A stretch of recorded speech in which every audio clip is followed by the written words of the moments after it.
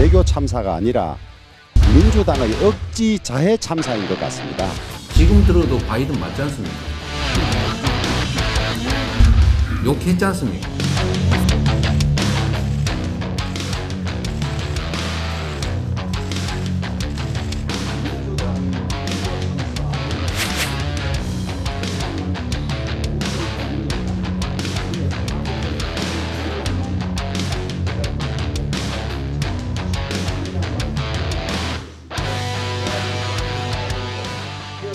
민주당이 외교 참사, 외교 참사 이렇게 이야기하는데 에, 사실은 실상을 알고 보니까 외교 참사가 아니라 민주당의 억지 자해 참사인 것 같습니다.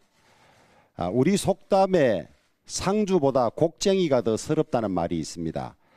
영국, 미국은 다 조문도 잘 돼서 감사하고 미국도 아무 문제 없다고 하는데 우리 민주당만 자꾸 문제 있다, 문제 있다 하니까 이게 민주당이 이 억지로 대한민국을 자해하는 참사가 아니고 어, 무엇이겠습니까?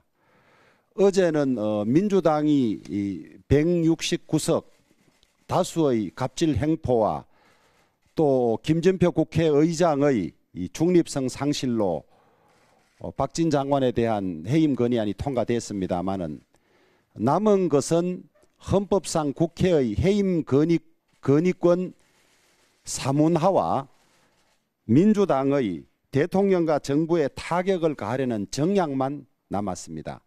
태산 명동에 서일필이라는 말이 있습니다마는 민주당이 이렇게 난리를 치고 남은 것은 민주당의 정량만 드러난 꼴이 됐습니다.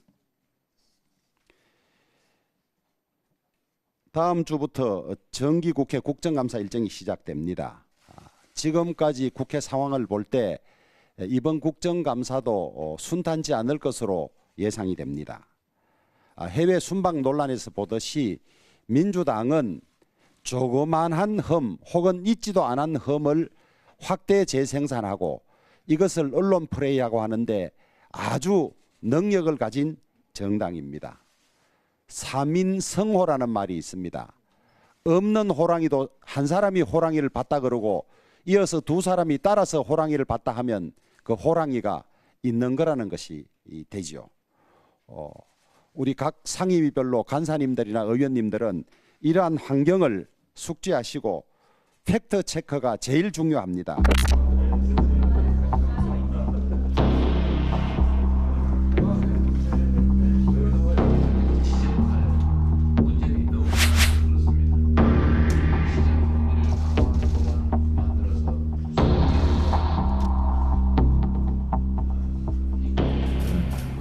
비정상이 정상인 사회로 어, 정치도 가지 않냐 그런 생각이 좀 듭니다.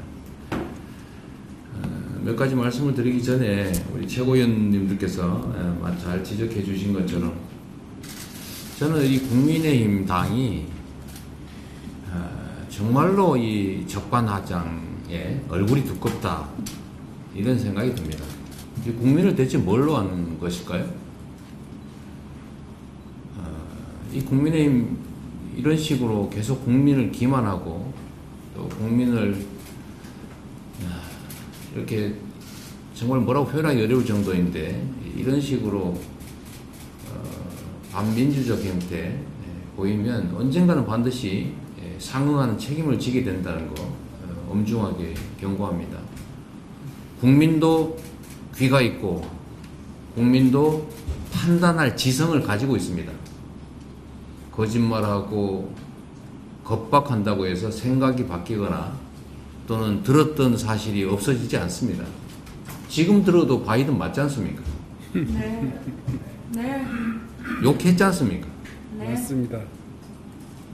적절하지 않은 말 했지 않습니까? 잘못했다고 해야지요. 그런데 어떻게 언론사를 겁박을 하고 책임을 묻겠다, 진상 규명을 하겠다는 말을 그렇게 쉽게 내뱉을 수가 있습니까? 진상을 규명하는 첫 번째 길은 내가 뭐라고 말했으니 이와 다르다 이렇게 말해야 되는 거 아닌가요? 본인이 한 말을 기억하지 못하면 다른 사람이 한 말이 맞겠지요. 나는 기억 못하겠는데 틀릴 가능성이 있다는 게 이게 대체 상식에 부합하는 말인가 의문이 갑니다. 국민을 존중하시기 바랍니다.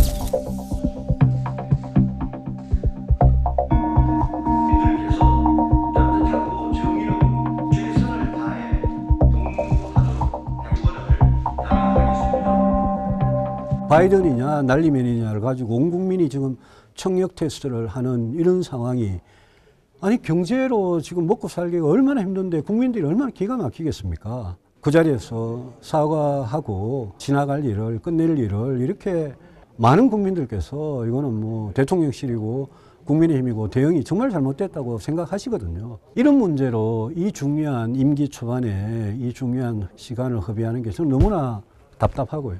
국민들을 정말 너무 개돼지로 취급하는 그런 어, 코미디 같은 일은 당장 좀 중단하고 이 문제는 뭐 깨끗하게 사과하고 어, 지나갈 문제다라고 생각합니다.